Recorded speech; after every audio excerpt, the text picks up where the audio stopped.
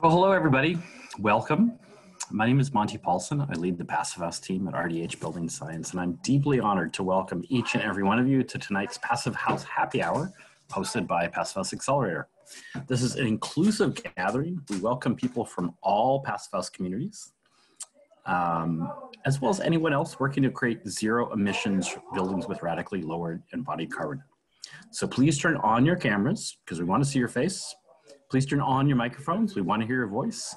Please raise a glass or a can or a cup of coffee, depending on where you are. And let's join a toast to Florida and the Magic Kingdom. And we'll all say together, I'm going to Disney World. I'm going to Disney World. We're going to Disney World. Cheers. Cheers, everybody. So not going. I mean, why not? What could go wrong? Cheers. Uh, now, mute your mics. Uh, we have a great, great show this evening. I'm realizing in this instant, uh, Zack, I've forgotten what the uh, what the video is, but we have a great video. Oh, yeah. Thank you.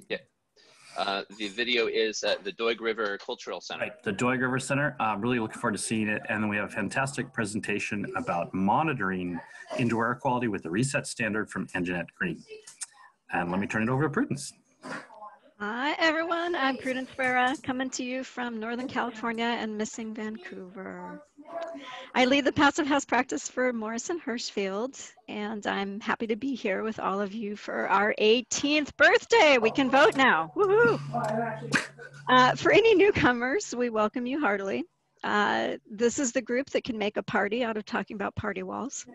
I hope everyone is happy and healthy and I'm excited for you all to hear about a program tonight that can help us make passive house environments even healthier. Of course, I have to chime in with my friendly reminder to send us your videos. Hey, whoever, thank you for muting. your videos don't need to be fancy, but we definitely want to see your handiwork. Two to three minutes is the target.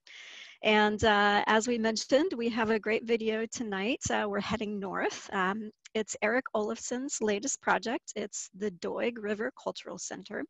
Uh, it was designed by Iredale Architecture and it'll be certified under the FIA standard. Uh, you can go to Eric Olafson's Instagram page for the full length version. But uh, please enjoy this passive house project in cold climate. Greetings, Global Passive House Happy Hour. This is Eric reporting to you out at the Doig River First Nation, which is about an hour outside of Fort St. John. And I am going to give you a quick tour of the Doig River Community Church, Passive House Community Church. The building is about 7,500 square feet. We have a 3,000 square foot daycare on the lower level, 3,000 square foot uh, sanctuary, church space on the second level, and then there's a mezzanine, about 1,500 square foot mezzanine at the back. About a 16 kilowatt uh, PV array. We have quadruple pane Zola windows, handmade double swing uh, entry doors with panic hardware. The designers will be familiar with how difficult that is to uh, source. Next set of stairs takes us up to the mezzanine. A little mechanical closet with the on-demand tankless domestic hot water and here we have the main sanctuary space. We have a stage, TVs, um, control center. Uh, the ceilings, I think, are about 40 feet from the peak to the floor. Um, theater lights, etc. This is the stage. I can walk onto the stage and see the skylights. Very difficult walking up there. And then there is the main sanctuary space.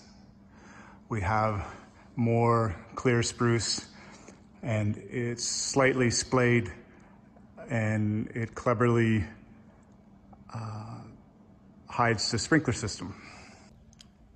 Okay, well, that's the church.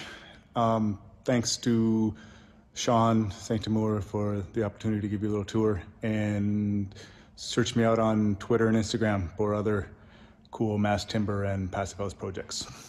Bye. Right on. All right. Excellent.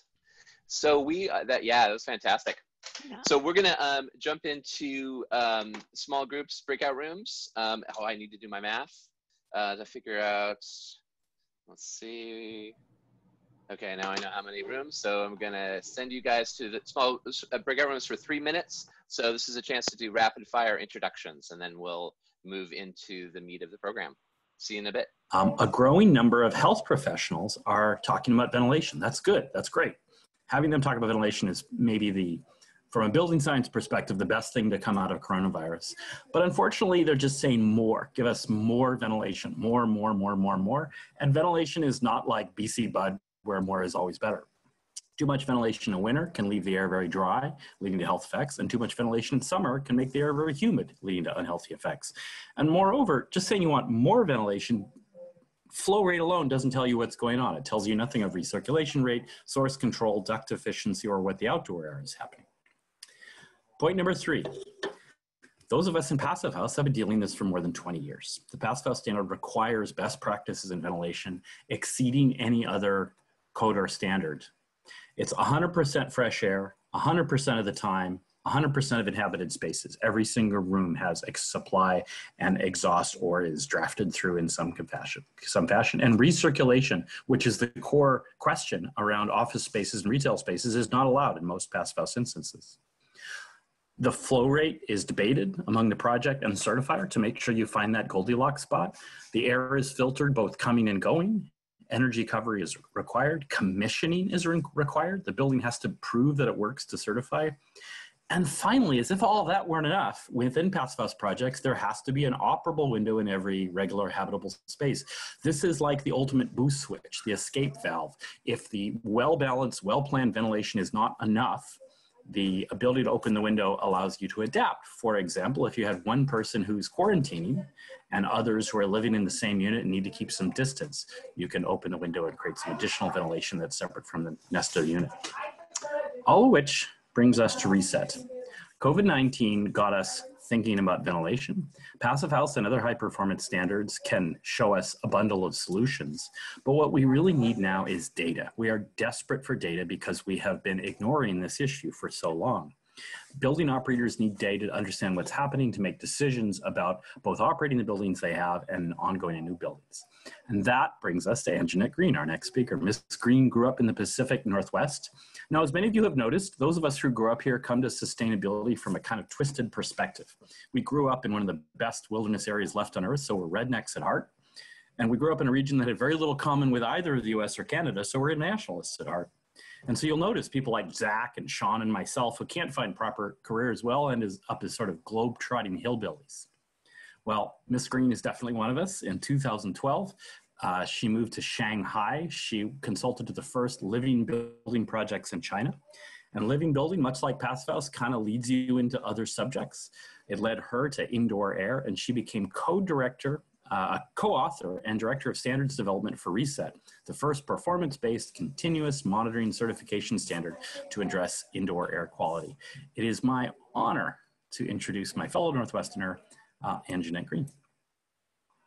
I don't know what to do now after such an introduction. My goodness. And now that I'm getting jokes about my last name being Green, uh, I have even more pressure on me. But I appreciate that an awful lot. And I think that, um, you know, the more I talk to people who are in this industry, the more I find that they too are either from the Pacific Northwest or right here from Seattle. And I was actually born in Spokane. So um, I have to apologize for those roots to a certain extent. But I guess that's also why I was so prompted to leave. Um, so I guess at this point, without further ado, I it will go into sharing my screen with um, with all of you, and I'm hoping that it goes without a hitch. These uh, technical sharing incidences can either go very well or very poorly. And excuse my thumbnails, I just haven't actually had the time to figure out how to take those off. So you'll just have to deal with those. Um, but if for those of you who weren't in the session today, I'm going to try really hard um, to kind of explain what Reset does so you, so you know who we are and, and how the standard came to pass. But I don't want to sort of go down into too much repetition. And also for those of you who have sat through my four and a half hours of webinars that are posted on our website, um, you already know a lot of this. So what I'm going to talk about today are a couple of, you know, high-end sort of um, overview and statistics of, about the standard and why I think Passive House and this sort of technical group that you guys have is, is such an amazing fit. So as stated, we are the world's first continuous monitoring performance-driven inter, uh, indoor air quality certification program. And to just kind of give you a, a, quick timeline and some statistics, we are a very young standard. Um, there's no doubt about it that our team of experts have been in the trenches about air quality since about 2012. Um, but really by 2017, we started to have these pilot projects. And we only had 43 of them at the time, and it was about 87,000 square meters of total project space. So we call those pilot projects because it was when we were floundering with um, trying to figure out how we were going to standardize this. Um, the technology on the scene was new and quirky and clunky, and nobody knew what was what we were going to do. So we really put our heads together and came up with the official standard in 2018. So that is the standard that you find on the website now version 2.0, and we are constantly in peer review groups to improve the standard. So you can always look for amendments and changes, but we will alert you as to when that's gonna happen. So fast forward to 2020, we still only have a small number of projects. You know, we're not shattering any records. However, we do have 1.1, almost 1.1 uh, million square meters of project space. So what's been interesting for us to actually see is that it's not the small projects that we're getting, it's the big ones. So large buildings, multi-floors, multi-story towers with huge portfolios of building stock are actually coming to the reset standard. And from what we can gather, it's for two reasons. One, it's for the first time the building owner and operator has a chance to actually have something that they're proud about um, and actually certify for a project that is largely based on its core and shell and its HVAC system. That's rather new for the industry. And the second is, is that it's performance based. So it's ongoing, which is very different than putting a plaque on your wall and saying, great, we're, we're, we're amazing, and then you leave for the day. So since January, um, we've got 10 projects in the throes of a pandemic. We're still very pleased to say that we have 10 newly certified reset projects and we have 11 waiting in the hopper to be audited. We also in, as of February, have 37 new accredited APs. So we've shifted all of our trainings, which have always been person to person to an online format. So we certainly haven't lost any traction. We have projects in 12 different countries, 51 cities, eight accredited data providers, um, more monitors than we've we've ever seen, uh, meaning for Induct, which were monitors that were never even on the market to begin with, and proud to say that we've got over 500 accredited professionals around the globe. So this line is, everybody loves this line. You can't measure, uh, so you can't ma manage what you can't measure, but I wanna add to that, it's really important that you measure in the same way. So what the standard was really trying to focus on was lassoing in this wild, wild west of people who decided that they were going to become experts in air quality and they were throwing around, you know, $20 monitors and thinking that that's going to give them good data. So very apropos to what um, was shown in the video before, and you know, snapshots of, of basically tinker toys that you put on the wall is not the way you want to regulate a building. So we really want to be clear that our standard is asking you, what are you monitoring with? Is it accredited? Has somebody looked at its performance? Can somebody attest to its performance? The other is who is actually controlling and aggregating your data? Um, doing it manually sucks. I've tried it. It's not fun. But more importantly, if you're going to have a third party do it, are they secure? Are you sure they're not gamifying your data? Like, do they own the data or do you? And the last is, I think we need to ask the question of how do you report that? What does healthy really mean? It is not our job as a standard to tell a project team what is healthy or not, but we do stand by our thresholds because we look at best practices. And so this is why I think a lot of this is not new to this audience. And every time I talk to Passive House, I get a little bit more excited about it because you guys, we don't have to start at zero to have a conversation about ventilation. By design, Passive House is already looking at the performance of the building and a reset standard is gonna come in and help you verify that with the data. We're not gonna tell project teams how to design an envelope. We're not gonna tell them all of that, but we're gonna provide the means to actually establish where you place those monitors and how you track that monitoring so you can decouple the building's performance from that of the occupied interior spaces. So it's a really interesting dovetail of the two project um, scopes coming together. Now, I think like everyone, I'm exhausted talking about COVID. I don't want to make this about COVID, but I do want to give a nod to the fact that the whole reason why I am in air quality and monitoring is because I have lived half my life in polluted countries. And believe me, when wildfires struck in California and in Washington, on the one hand, I was devastated, but on the other hand, it was ironic because I was I was actually in Shanghai and we had blue skies and the air quality was stellar.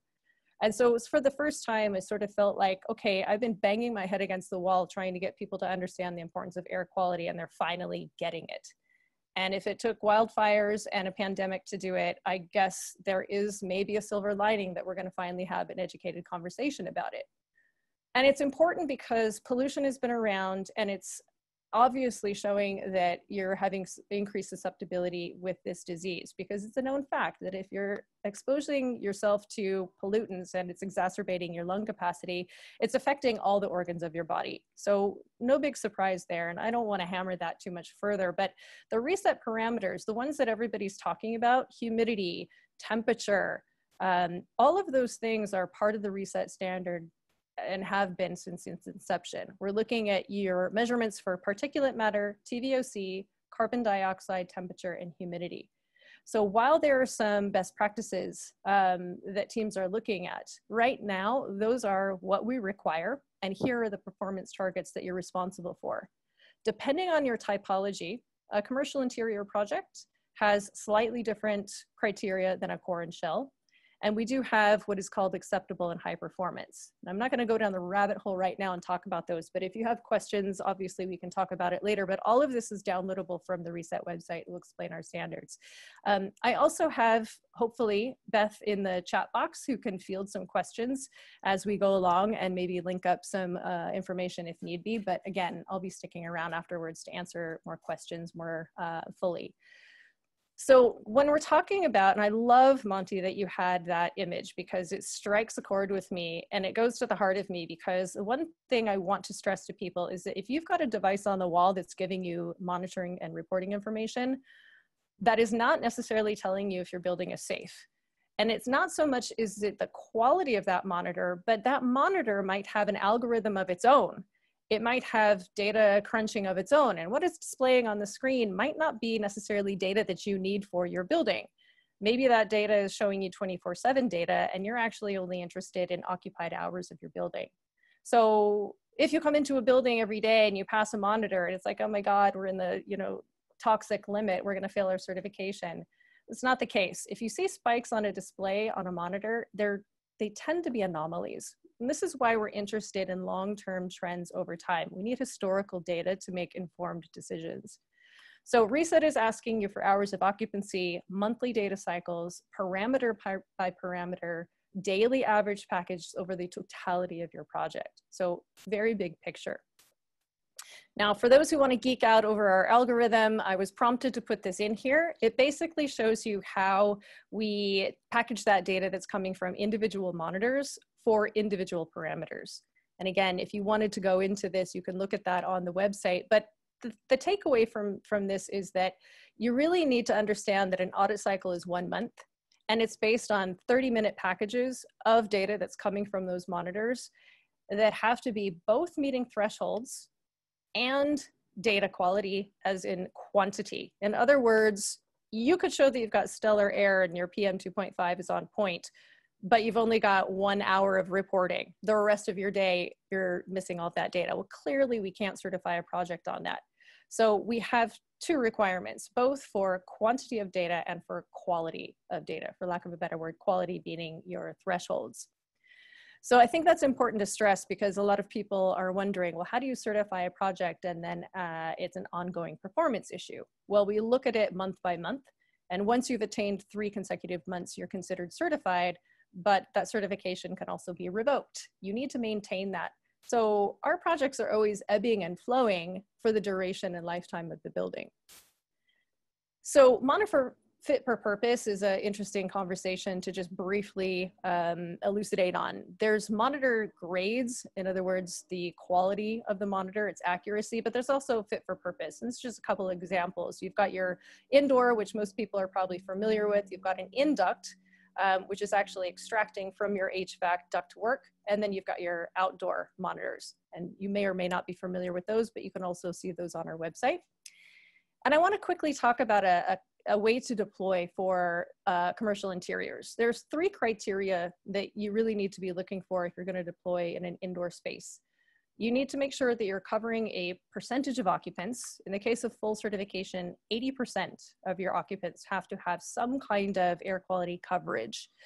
The second is you need to have a cross section of room types based on their function. And in reset, we do not, thirdly, permit the a range of monitors to exceed 500 square meters.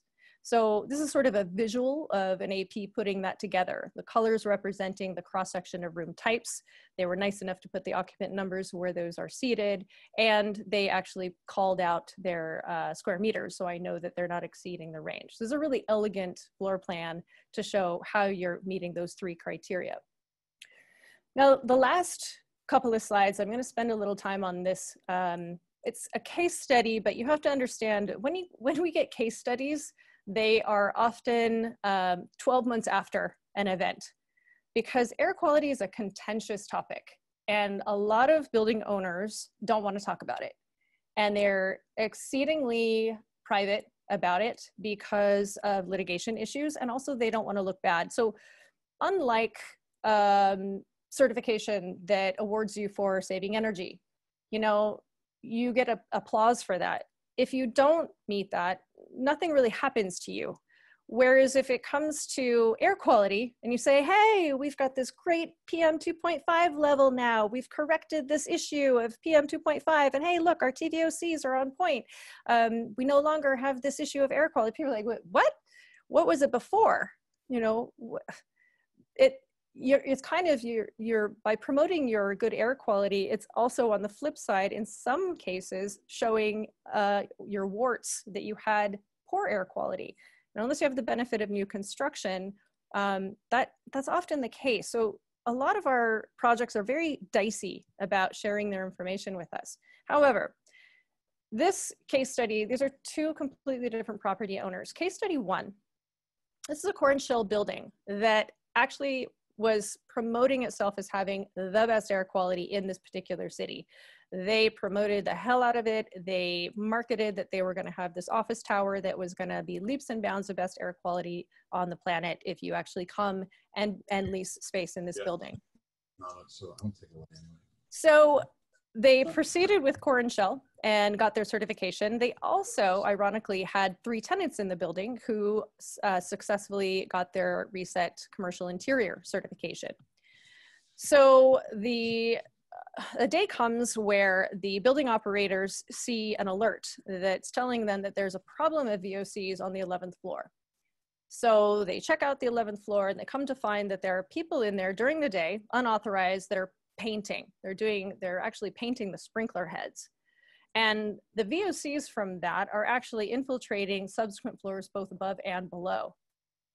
So they tell the workers, look, this is unauthorized work. You can't do this. Um, you need to stop. They, they cease doing that. They tell them to leave and they start a re remediation, clearing the space, ventilation, what needs to be done. Now, at the same time, because there are tenants in the space who are reset commercial interior certified, they too had monitoring. They noticed spikes. They're wondering what's happening.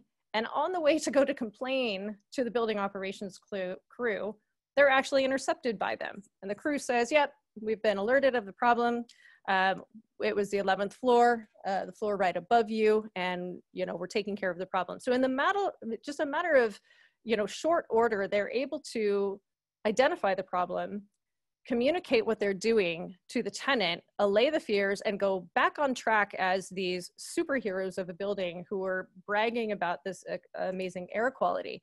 So, happy ending, good story. The other building, unfortunately, totally separate owner in a different location, was in the midst of deploying monitors, but got behind schedule, and tenants moved in anyways.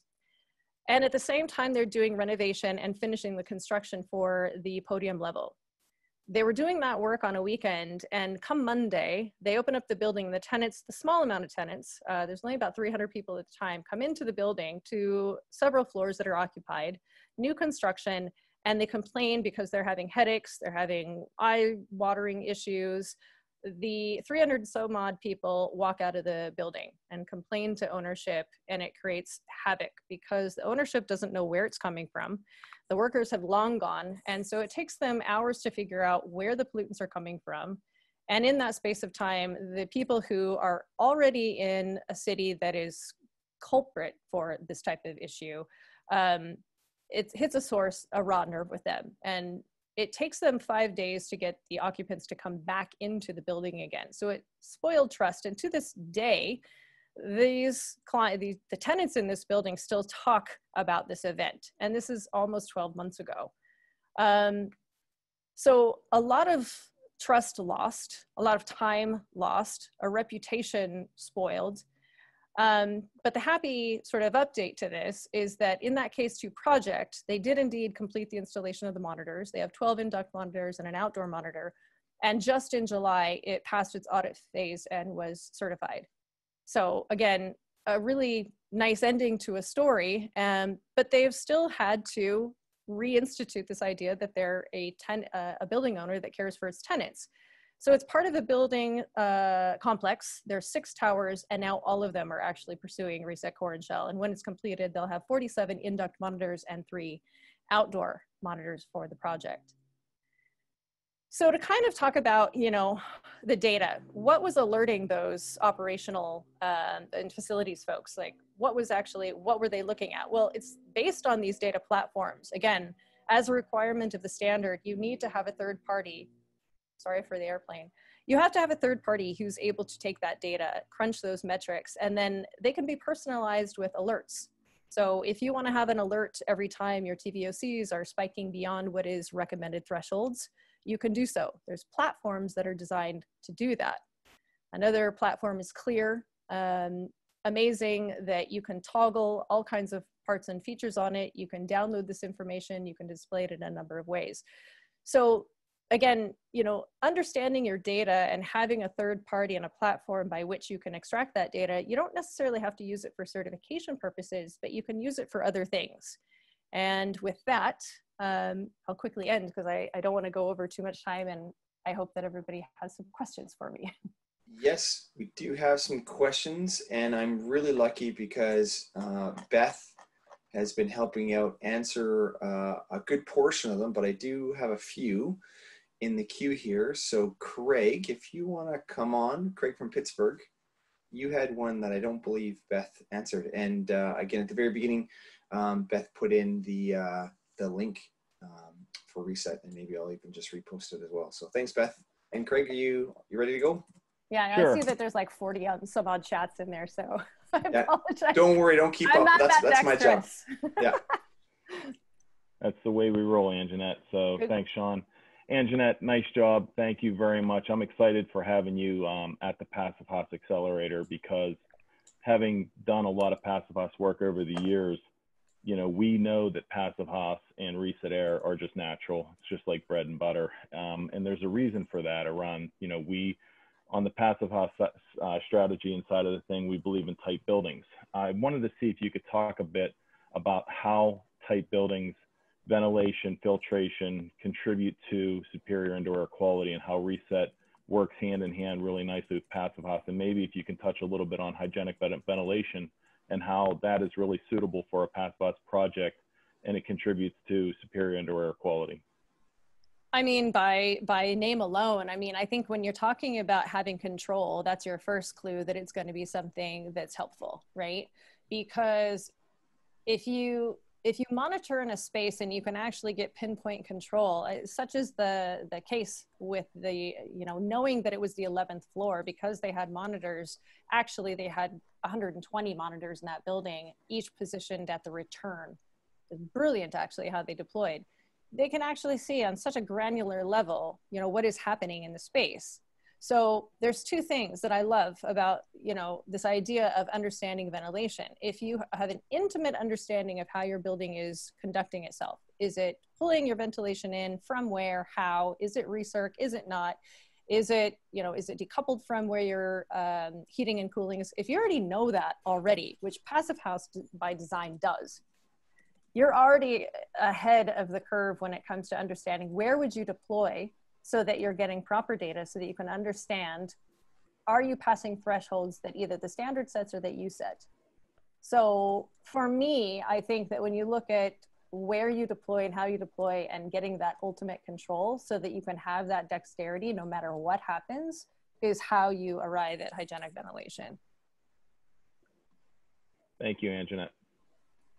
All right and lois um, Anjanette, the question I actually put in the chat, you answered already. It was about builder pushback and legality of like releasing that data and their liability. But I did have a question. Do you know, based on the projects that you are working on right now, are the levels of ventilation that you're seeing that keep these pollutants down, are they higher than our ASHRAE standards? Are they higher than our passive house standards? Do you have any information on that? You know, the one thing that Reset does not currently do is anything having to do with ventilation rates.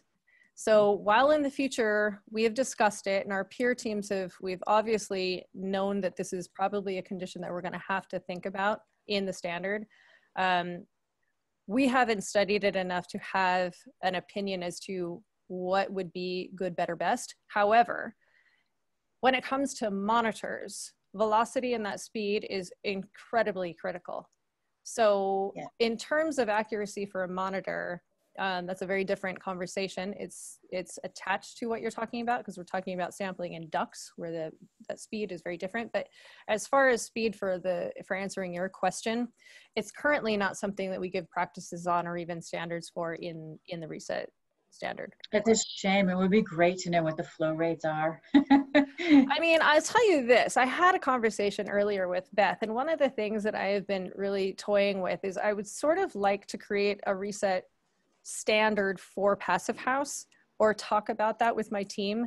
Because you guys are so unique, I really feel like it deserves it, it deserves to have something that is that specific. So I actually would like to open that topic up. And because ventilation and those rates are so integral to your standard, I, I think that we'd like to have a conversation. And maybe we start it with a, you know, a best practice or a recommendation and we pilot it and we see where it goes. Cause I, I do think that this is a, a good ask. And, and honestly, I'd like to actually explore it we ha- we've had organizations like NREL, uh, LBNL, and uh, excuse me, not NREL, LBNL and ASHRAE call us irresponsible as an organization because we're recommending rates lower than they do, and we really don't have anything to fight with. Yeah, well, people are throwing around keep your building humidity at eighty percent too, and I have a I have a bone to pick with that. So. Yeah, yeah, me too. Okay. Thank you. Yeah. Thank you very yeah. much. You know, I, I wouldn't mind actually for anybody else who might um, have found the building owner pushback and privacy issue. Um, the one thing I can add to that is that there are there is no reason why your project ever has to be public. There's no reason why your data ever has to be public. You can anonymize everything and you can um, apply the standard to the project and and you don't have to actually make any of that known to anyone. So if a building owner wants to actually explore this on their own, that's really up to them. They can use the standard however they wish. However, for an equity um, stance, in order to certify, the data has to be made available to the occupants, not to the world, not to everybody and their dog, but just to the occupants. Great stuff. Uh, Susan and Andrew, I think Beth answered your question. And if, if it's still not clear, uh, message me directly and I'll put you in the queue. Um, but Damien, you're up next. Yeah, I was just uh, wondering, uh, your projects, are they mainly new builds? So is there any way of getting um, baseline information from old builds to actually say that new Mm. builds are any better? Oh, such a great question. Um, I don't have, and we don't have enough projects, as you said, from existing. I wish that we did. Um, most of them are new construction, yes. And we do, you know, it's odd. The projects that are that are actually installing under existing conditions are on the East Coast in the US, which is, I think, a sign of the fact that a lot of these projects that are uh, trying to figure out how they're going to deal with building reentry and the things to come are trying to are grappling with how are we going to deal with existing real estate. So maybe in a couple couple of months we'll have more data for you, but you're correct in that most of our projects are new construction. We have a lot of different project sizes, but nothing that would actually point to the fact that one is better than the other. I also have to say that it is it is so different from building to building because their HVAC designs are so different. Our buildings in Beijing are couldn't be any more different than the buildings in London. I mean, they're just so vastly different. And whether they're new or old, um, I think that the issue is, is that the, the HVAC designs are just extremely different. Yeah, I, I'm just aware that um, much of the pushback that comes from measuring something is um, not actually knowing what you'd already experienced. you know that that, that people actually, uh, you know, oh, well, that's a catch twenty-two if I ever heard one. it is. that's right. This is terrible. Well, in fact, it was no worse on its worst day than what you experienced every day for the last 30 years of your working life. Yeah, I mean, it brings an interesting question, especially when we're looking at outdoor numbers for a lot of regions that don't have an air quality monitor that's near them, it's several miles away. Um, I always find it ironic that the American Lung Association's headquarters is in Chicago and they don't even have an outdoor monitor within a couple of miles of, miles of their office. So, you know, how do you, again, how do you, how do you fix something if you don't know what you're measuring? You have no baseline. I think now is a perfect time actually during this pandemic to to think about how do you actually deploy maybe just in samples um, maybe not a full deployment for for a full calculation of, of the standard but maybe start sampling but use good devices and follow the standard in in as much of the uh, parts and pieces that you can I would have imagined that there's a fair number of governments who should be highly motivated that their own employees are actually experiencing good indoor air conditions. Um, but yeah, it still may be early in the piece. Yeah it, you know most of our um, it, we embassies across the globe tend to love our standard. So we have if you look on the reset website um, i think we've sent you a link. If you look at projects under the reset website um, you'll see a lot of embassies and consulates. And we we just spoke to one here in our own country who is actually going to be deploying um, for those very reasons. We are also in partnership with the World Green Building Council, who have deployed across the globe to um, areas in the world that have a very hard time getting their hands on monitors. So, with some Yep. sponsorship, we've been uh, delivering a hundred some odd monitors across the globe to regions that otherwise could never actually monitor their air. That's a good Thanks. seg. Thanks, Damien. Uh, good segue for Susan to ask your question. Great. Yeah, thanks. Um, thank you, Anjanette. Really interesting. Um, I was noticing um, when I just sort of glanced quickly at your website, the Reset website, um, some of the terminology, for example, core and shell, commercial interiors, they, they kind of echo the LEED standards or the LEED certification. Um, and I'm, I'm certain, I'm, assuming that's kind of intentional, but I'm also thinking in terms of uh, LEED existing buildings, operations and maintenance or core and shell, there are credits in there that require uh, not require, but you have the choice of putting in instrumentation. And I'm just wondering how much are the, is the reset aligned with the LEED? Yeah, that's such a great question. I actually, um, we do a lot of work with the team over at LEED, and the nomenclature, you know, again, I, we wanted to make sure that it was easily understood. Whether the precedent was one that we enjoyed using that nomenclature or not, it is what it is. So, commercial interiors, core and shell, and residential, I think it's a nomenclature people can understand. So, why why change it midstream? Um, that aligns a little bit with well and LBC. So we have crosswalks with all of those, and there's a difference between a, an equivalency, a crosswalk, and an alternative pathway. Mm-hmm. So I'm not going to if you i can send you all those links to all of that because it is a bible of stuff to read but with all of those the one thing that those certifications don't have is they don't have as robust of requirements and they certainly don't have things about continuous monitoring so you're on point with your USGBC LEED o&m so for that particular one, what you do is you've got those five points and you have to amass a 40 uh, total score. And one mm-hmm. of them is uh, the uh, I've forgotten what measurement. it's called. Building measurement. Yeah. yeah. And under that is the air quality performance. Yes, you are allowed to use continuous monitoring for that. So you can use the reset standard. You can use continuous monitoring. You're welcome to, you know, talk to Chris or to one of those folks over there um, who's charging up ARC because that data would go into the ARC format that along with your um, occupant survey, and that's mm-hmm. how you would total your points. Mm-hmm. So okay. I can send you that if you would like. We're also in conversation with them to try to get us into um, getting credits under new construction because we've just been talking about that for a really long time and it's overdue. But for mm-hmm. the Run Well projects, um, Fitwel, uh, we're also part of Gresby, recognized by Gresby. Um, there's a myriad certifications. So if that's of interest, I can I can yeah. send those. Well, I was just interested because I know LEED more intimately than Fitwel or the Well, but I mean, they're, they're all have similarities, but I was just wondering in terms of, you know, getting a credit, getting a point. Yeah. Um, so you're saying you're ha- trying to have a conversation about that sort of. No, morphing. currently you can. Yes. Oh, you, you can. can. What I'm trying to get them to do is for a new construction. That's oh. the one I oh. want. okay. currently okay. their air quality credits under new construction are, are almost unattainable. Um, but that's another conversation. uh, but yeah, for O&M, so if you're trying to do recertification mm-hmm. or if you're trying to do O&M, that's where you can use the reset standard that would apply for, for either of those because it's the same, it's the same guide. Okay, thank you. Great, thanks Angela. I think I'm sorry. Yeah, sorry, I was on mute. I got too much going on here. Um, Daniel, there you go. You're ready. Thanks. Hi, Anjanette. Hello question about how how to get these systems in design. So, um, do, do uh, does a mechanical engineer specify the equipment, a contractor install it, and then somebody else come and help you with software, or is there kind of a one-stop shop? You can go to somebody and they'll pro provide the equipment, install it themselves, and set you up. Okay, that's a great question, and it depends on where depends on where in the world you are.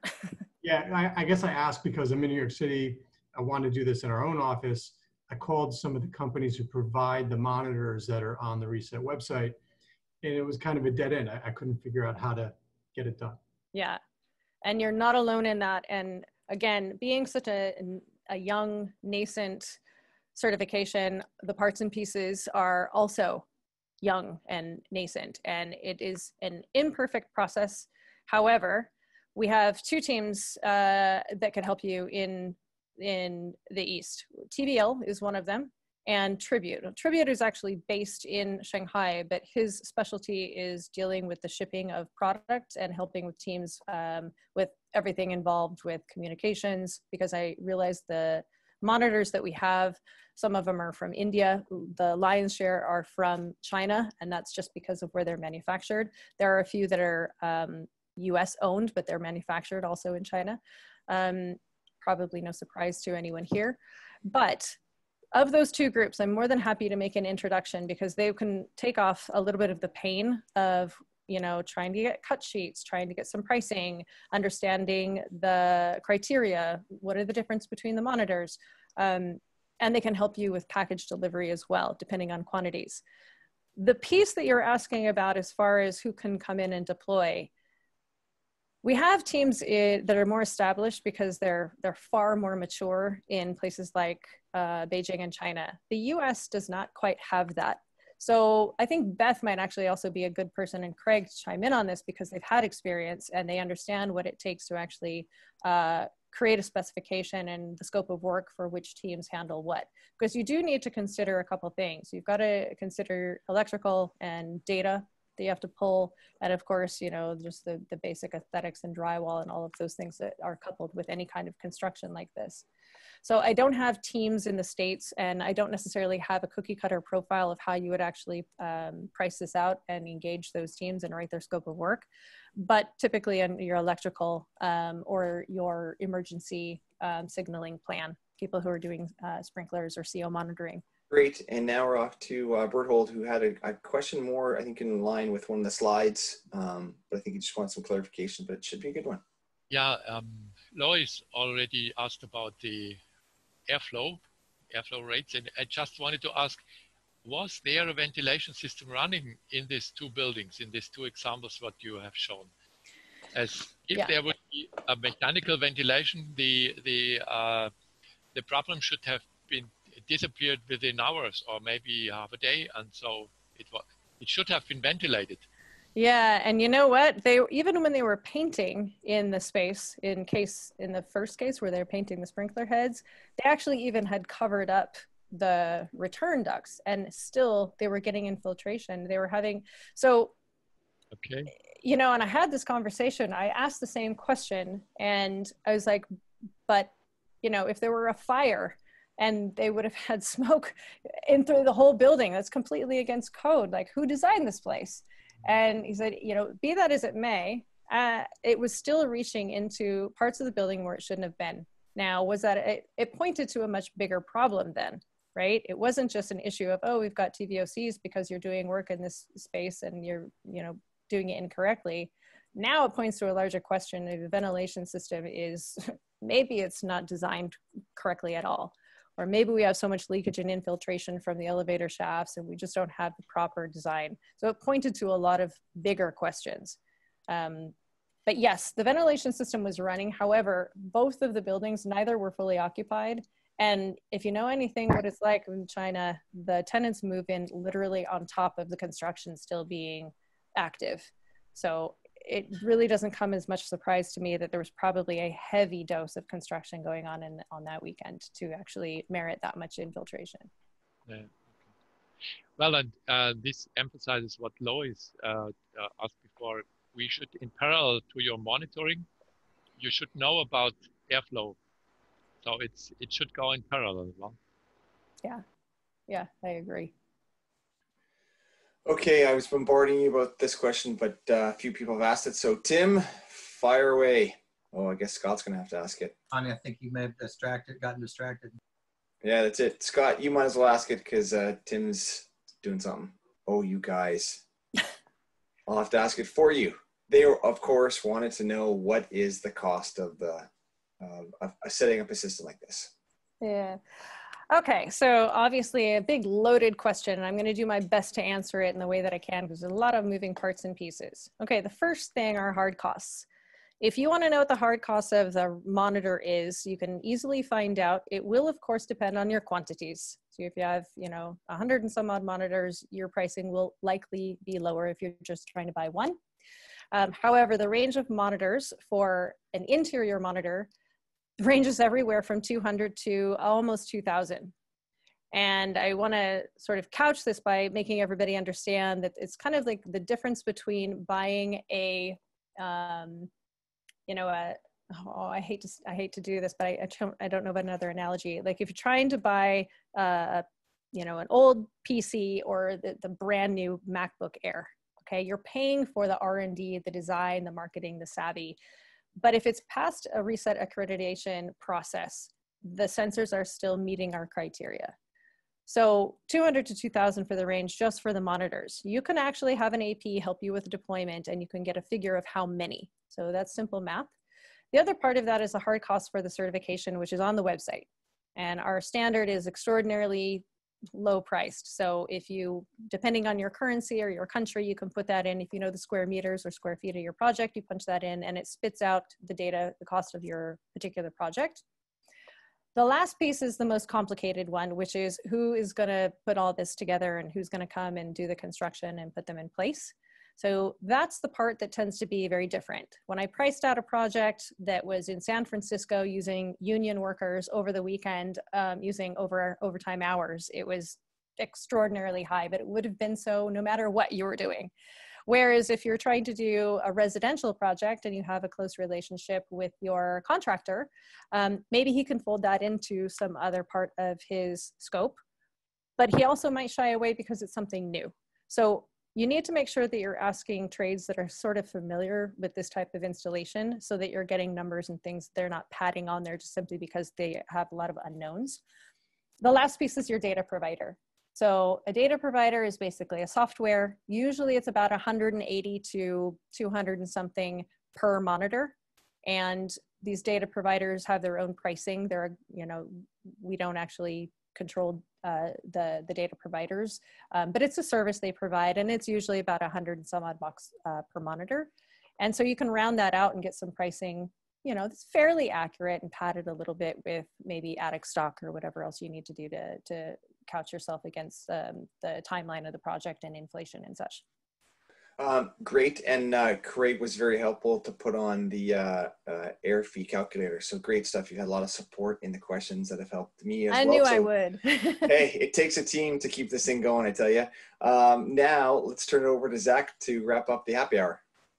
Great, thank you, Anjanette. This is really fantastic, and I want to share what's coming up next week. Um, I'm really excited about this presentation. Uh, it's going to be um, with Wei Kwong of the Passive Institute, and he's going to be sharing China, uh, projects from China, specifically three big residential developments, two kindergartens, and one vernacular building uh, renovation. I think I've seen photos of the of that last one, and it's very striking. And um, so, anyway, we're we're in for a treat next week. And uh, Monte, why don't you take it away? Well, what a great discussion. Thanks, everybody. Special thanks to Eric Olofsson. I love that church project. I can't believe I forgot that was tonight's video. It's actually one of the most beautiful projects, I think, in a province of British Columbia where an awful lot of beautiful work is happening. Special thanks to Anjanette. I know this was a lot to pull together. I'm really grateful for your sharing, and I certainly would love to join in conversations about seeing if we can create some sort of a alliance between some past House projects and Reset. Um, thanks everybody for coming. Once again, it's halfway through July. We're halfway through 2020. That alone should be worth a beer. Um, you're free to go now, but if you want to stick around for the after hour, that'll be starting right away. Thank you. Thanks, everyone. Uh, special thanks to Beth and Craig for answering questions in the chat as we were going along. Really exciting to hear about the reset standard, and I'm I'm definitely excited about the uh, the partnership that can exist between Passive House and Reset. Thanks so much.